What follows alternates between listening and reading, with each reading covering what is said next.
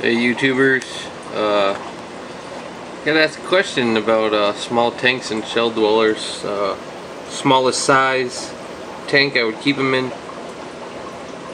I don't recommend this. Um, this was a trial type thing. We ran into the fish. Uh, we took a trip up to Richmond for one of our forum meetings for fish.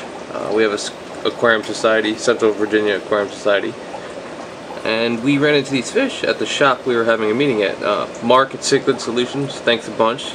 Bunch of great fish, very good store. If you guys are ever in Richmond, check them out. Um, we purchased four of these, and they ended up. We ended up with only three. We have no idea what happened to the fourth. We put four in the tank, never found a dead body, uh, never found a dried fish around. We've moved this tank since we set it up. Um, this tank just sits on top of the computer. Um, I mean, computer, there's a screen, 75, the rest of the tanks. But, um, these guys here, there's three of them in here, and we haven't had a problem. We're hoping for maybe uh, a male and a female. It's at the 5.5. I think we got this set up at um, chain store PetSmart. It's got a little LED the filter.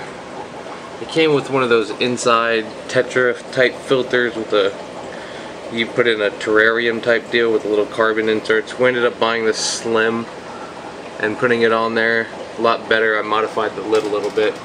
It's a little dusty but modified the lid trimmed it out so it would fit in there. It works pretty well. These guys don't seem to have a problem. They eat well. No nip fins or anything very pretty fish. Look like little princesses.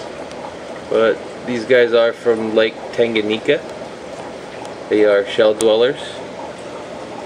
Um, also heard as pumpkin seeds before. Not too sure on that.